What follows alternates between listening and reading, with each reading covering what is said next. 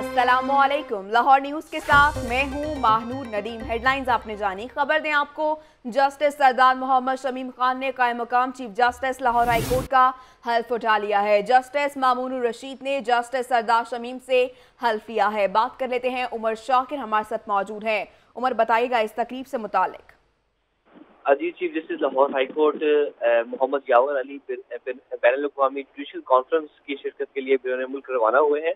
جس کے بعد سینئر جج جسٹس سردار محمد شمیم احمد خان نے بطور قائم مقام چیف جسٹس حلف اٹھا لیا ہے۔ جسٹس مامون رشید شیخ نے ان سے حلف لیا۔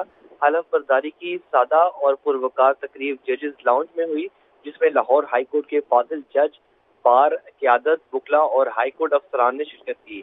رجسٹرار بہادر علی خان نے تقریب کی نظامت کے فرائض سر انجام دیے۔ جبکہ عہدہ سنبھالنے پر ساتھی ججز اور وکلا رہنماؤں نے قائم مقام چیف جسٹس کو مبارکباد بھی پیش کی۔ شکریہ آپ کا عمر شاکر۔ ابھی ایک بریک جس کے بعد آپ دیکھ سکیں گے پروگرام جاگو لاہور۔ دیکھتے رہیے لاہور کی دنیا۔